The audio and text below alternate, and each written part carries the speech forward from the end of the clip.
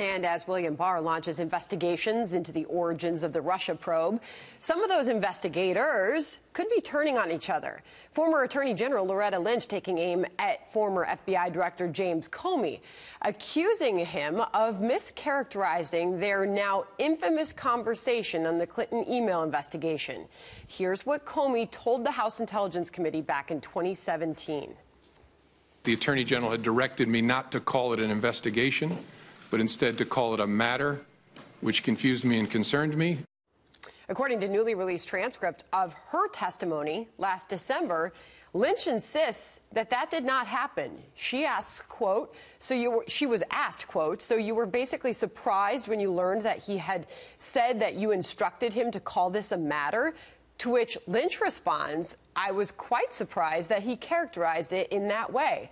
I was quite surprised that that was his characterization of it, because that was not how it was conveyed to him, certainly not how it was intended. Let's bring in former Arkansas governor and Fox News contributor Mike Huckabee. Governor, good morning to you. Surely you have something to say about this. It all is getting very interesting to hear Lynch flatly accuse the former FBI director of mischaracterizing her words. Yeah, she basically called him a liar, and that's something that uh, he's been called a lot over the past few months by people who have looked at what he's said and how it contradicts other things that he said.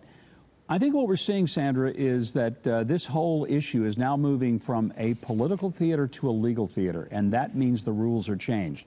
When it was all about the political rhetoric, then uh, people could say whatever they want. James Comey could speak politically, he could go on talk shows, he could go out and promote his book, uh, he could prepare, present himself as some big deal who knew a lot and was a little more, um, more sanctimonious than pretty much anybody else in the country.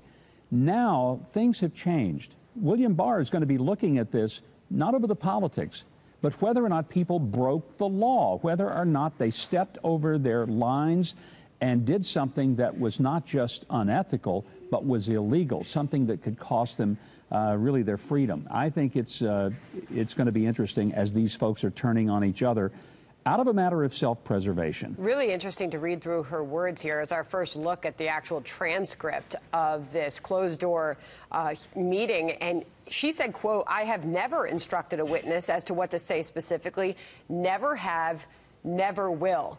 So it really leaves uh, uh, many wondering what exactly is going on here. Governor, I want to move on to what we saw from the president last night. Uh, you just saw him uh, bill the Republican Party as the, the party of the American dream. He went on to directly criticize Joe Biden on foreign policy, saying leaders are calling him, him up well, obviously, they're calling him up. It was a lot easier for them under the Obama administration. The president made that case. He also said the Democrats are the party of socialism, the party of illegal immigration and abortion. What did you think of the president last night? Well, the rallies eh, really were the key factor in his winning the election. He went to places where he could connect directly with the people. And I think the rallies are an important part of his communication strategy now because uh, can you imagine that the New York Times, the Washington Post, or some of the other networks are ever going to let Donald Trump say what he says without their interpretation? No, they're not. So what he does, he goes and does these rallies and he speaks directly to the American people. Uh, when the sound bites get taken, uh, they can't edit that. Uh, not at least in a way that completely diminishes what he's saying and how powerfully he's saying it.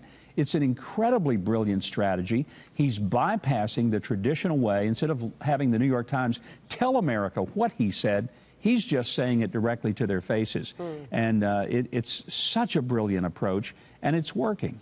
Well, you look at the strategy to take on Joe Biden, you look at the polling in that state, Governor, and there's a reason for that. In a potential matchup, this is the latest Quinnipiac polling in the state of Pennsylvania. Uh, and, and, it has Biden leading against President Trump 53 to 42 percent, Governor. Yeah, and, and the same polls that we had just before the election said that there was no pathway for Donald Trump to win. There was no way. I had this conversation with many people, including many colleagues on air at Fox just before the election. I said he was going to win. They said, no, there's no pathway. I talked to some of the best pollsters in the country. Only one pollster in America that I'm aware of, John McLaughlin, said Trump was going to win. Everyone else, everyone else said Hillary was going to win. Why? Because a lot of people don't want to admit to a pollster that they're supporting Trump because they don't want to be called a xenophobe, a homophobe, uh, whatever the latest phobe is. And so they just uh, don't tell or they, they say they're going to vote for somebody else. But look at the numbers of these rallies. Yeah. I mean, Donald Trump brings them by the tens of thousands every time he goes somewhere. And then you have Beto speaking to enough people that they could all fill a booth at the Waffle House with room for guests. Uh, the same thing, even Biden at his best rally is bringing him in maybe by a couple of hundred.